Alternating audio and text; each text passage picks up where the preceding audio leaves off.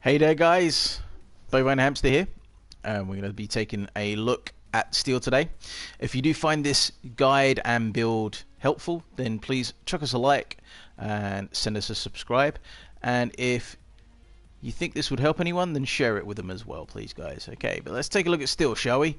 His background understands the concept of mercy just not as it applies to him. First memory is the bay doors opening on a on icy orbit. Okay. Um, through though many follow, denies being a leader. Okay. Um, this guy is the number one support at the moment. Uh, his ability to stun for three seconds with a combination of his ability to mitigate uh, auto attack damage by 90% as well um, and to protect his teammates with a massive shield that also slows people just makes him the best at the moment. Um, so let's take a look at these abilities, shall we? So he's got his punch. He does 58 basic damage. Okay, uh, that's just his basic attack, guys. Uh, Bulwark. This is insane, guys. Okay. Um, if you harass the opponents enough that you you make yourself such a nuisance that everyone wants to attack you that is fantastic because all that happens is as soon as everyone attacks you you pop this okay and you reduce 90% of all incoming damage. Not from AoE abilities okay? So things like um, Belica's Belica's grenade it's not going to stop that but it will stop ADC damage. It will stop Howitzer's rocket it will stop all the things that are single target damage such as that. Um, so this is a really really good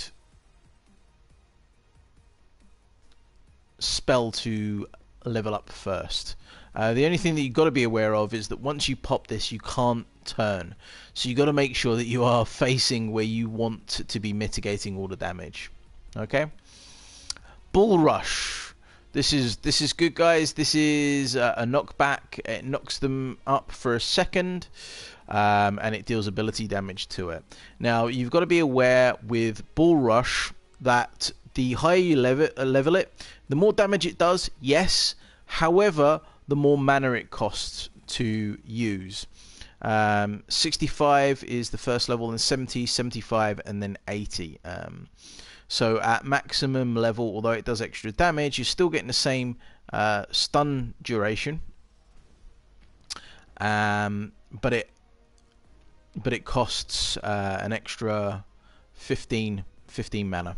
Okay, um, if you're not worried about mana, then you can you can level this quite quite well. I usually leave this until last uh, to level up maximum, um, just generally because the 90% mitigation um, and the cooldown that you gain from the force shield is is just so much better. Force shield, you chuck up a massive barrier that anything that moves through gets slowed, um, and nothing can penetrate it uh, apart from Murdock's ultimate. Uh, so the the levels uh, reduce the cooldown starts off at 24 seconds, then goes down to 20, 16, and 12. Now, this also increases the mana cost from 100, 120, 140, and 160. Um, so this is usually the second thing that I upgrade. I just kind of lower that cooldown a little bit. Um, so I usually go get my Bull Rush level 1, then the Bulwark or Force Shield, depending on what I feel that I need during uh, the laning stage, and then whichever one I haven't chosen I go for. Then I max up Bulwark first, Force Shield, and then Bull Rush, and then Shield Slam when it's available. Now, Shield Slam. Shield Slam, guys. Um, this applies a two second stun when you hit with them. Okay, this is really good to combo with Gideon's ultimate. This is really good to uh, combo with Howitzer's ultimate.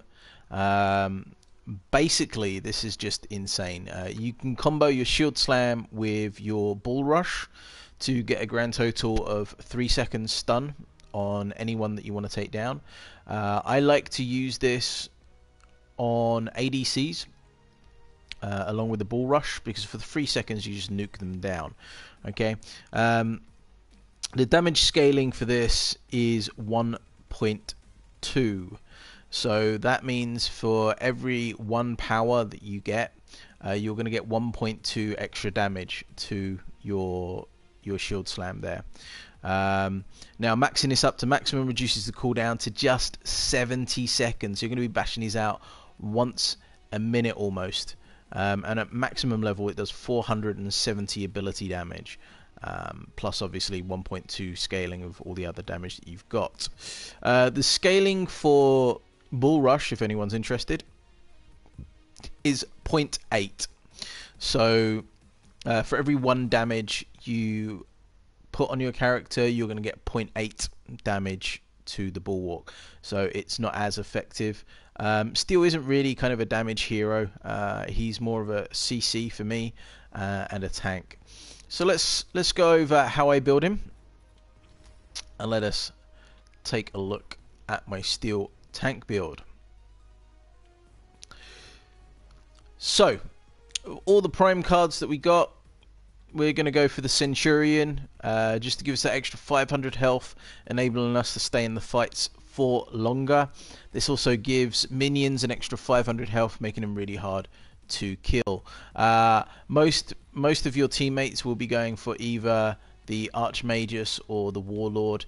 So having that Centurion there kind of really complements uh, those two. So we've got a Scout Ward, a Healer token, a Circlet of Health. We've got Elder Mage Amulet um, with a three-point health, a two-point power token, and a one-point power token in it. We've got Elder Mage Amulet here with a 3 point health, a 2 point power token, and a 1 point power token. Another Elder Mage Amulet here with a 3 point health, a 2 point power token, and a 1 point power token. A Genesis Torch with 3 1 point barrier upgrades. We've got a Lantern of Spring with 3 3 point basic shield upgrades. We've got a Lantern of Spring here with three one point um, basic armor upgrades there. We've got a Sage's Ward here with a three point health, a two point power token, and a one point power token. And we've got three tune barriers here with uh, three three point uh, energy barriers in it. And just in case, we've got Honor the Pure uh, with three lesser healths in there, um, three one point health uh, tokens in there. Uh, this is not as viable on Steel anymore. Honor the Pure, they have changed it. Uh, it now costs a hundred mana in order to activate. Beforehand, it didn't cost anything to activate. It was just there, and you could use it on cooldown. Um, but now it costs a hundred mana to use this. Uh, so generally, I don't use this in my build so much anymore. Okay, so what I do is I start off with my Scout's Ward and my Healer token. Uh, Scout Ward to keep vision so that you can see if the ADC is getting ganked. Uh, after that, I then generally get rid of these because I uh, move into a Circlet of Health and my Sage's Ward. Um, obviously, the Sage's Ward having the ability to go invisible, so you can see anyone who is invisible. Uh, I then want to move into Genesis Torch and the Lantern of the Spring. Now, I get these at the, the next three points each, uh, just generally for the extra mana regeneration that you get there.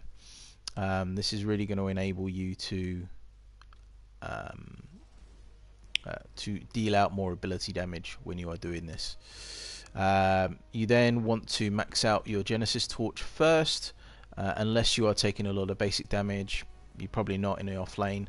Um, in which case you then uh, would level this up first, but you're going to do that secondary. From then on, you just basically decide you need more health. Do you need more armor? If you need more armor to mitigate damage, then you've got your tune barrier here, or you got a lantern of the spring. If you want more health, then you go into your elder mage amulets right here. Um, but basically, your end build is going to be your three to elder mage amulets, your lantern of the spring, sage's ward, and your tuned barrier. Okay, um, and that is how I build my steel. There is some gameplay, guys, uh, so go take a look at the gameplay on how I work. Uh, what you want to be doing is you want to be making sure you are stunning those high priority targets and make sure that you are uh, able to uh, kite and peel off enemy heroes as well as just mitigate as much damage as possible guys. So we'll just go over this one last time. We've got a centurion as your prime, Scout's Ward, Healer Token, Circlet of Health, Elder Mage Amulet with a 3 point health, 2, uh, two point power, 1 point power. We've got Elder Mage Amulet again with 3 point health, 2 point power, and 1 point power. And we've got Elder Mage Amulet here with 3 point health, 2 point power, and 1 point power. Genesis Torch with 3 uh, 1 point barrier tokens. We've got Lantern of Spring here with 3 um, 3 point basic armor tokens. We've got Lantern of the Spring here with three one point basic tokens, basic, basic armor tokens. Sage's Ward with a three three point health, a two point strike, and a one point strike. Uh, we've got a Tune Barrier here with three three point barrier tokens and Honor the Pure with three one point health tokens there, guys. Okay, well, uh, let me know if that's helped, guys. Uh, if there's any particular builds that you want to be seeing, then let me know in the comments below. Uh, other than that, like, favorite, subscribe, uh, share with all your friends, and I'll see you soon. Take care, guys.